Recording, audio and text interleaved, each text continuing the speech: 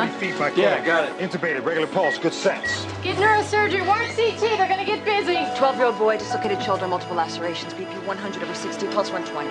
Hey, I'm Dr. Carter, what's your name? What's that? Okay, we're gonna take care of you. We sent me up 30 frames.